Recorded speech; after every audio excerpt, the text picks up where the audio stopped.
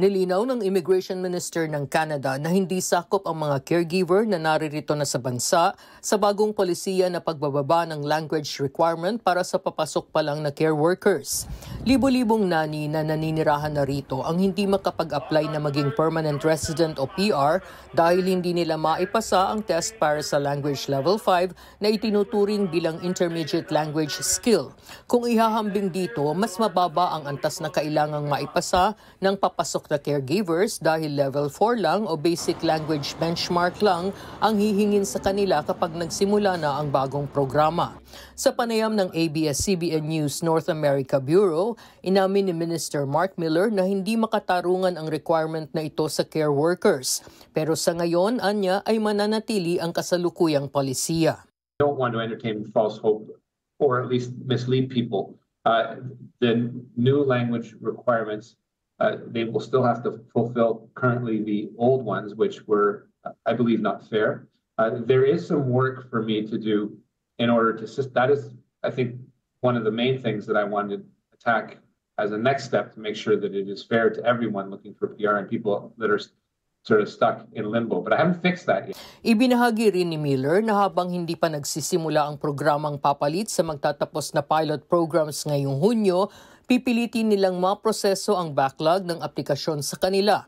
Dagdag pa ng opisyal, pag-aaralan ng tanggapan niya ang panawagan para sa regularisasyon ng care workers. Marami sa mga caregiver na ito ang nawalan ng status nang lisanin nila ang mga mapang-abuso nilang amo habang marami rin ang nawalan ng papel nang hindi na nila ma-renew ang kanilang work permits. There are elements that need addressing in a relatively short term to make sure that people aren't uh, aren't being treated unfairly. So be looking into that a little further. Kinilala ni Miller ang ginawang pagsusulong ng Filipino community sa karapatan ng care workers.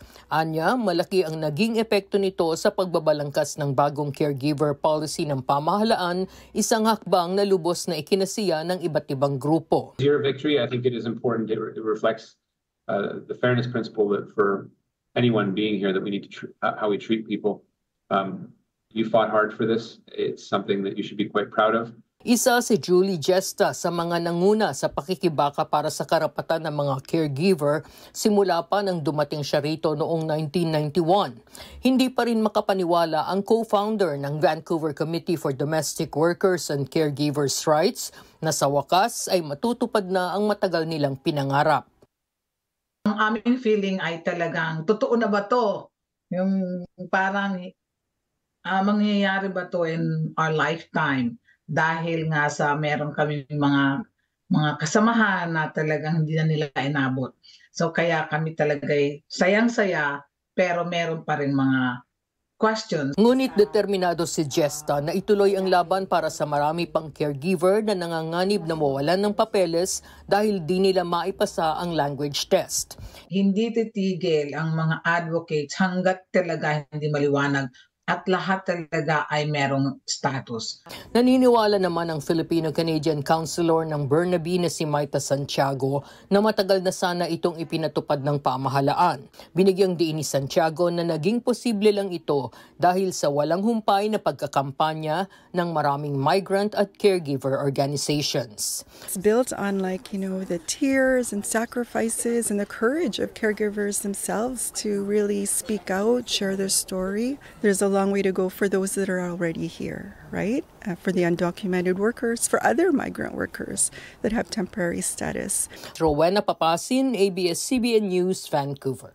Tuloy-tuloy po ang ating pagpapatrol sa bayan mula lunes hanggang biyernes sa TV Patrol. Alas 6.30 ng gabi hanggang Sabado at Linggo sa TV Patrol Weekend. Sa bago nitong oras, alas 5.30 ng hapon.